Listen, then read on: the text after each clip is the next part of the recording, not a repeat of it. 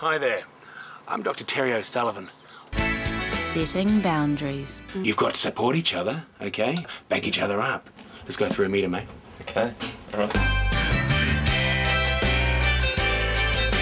It's time to meet Jeffrey.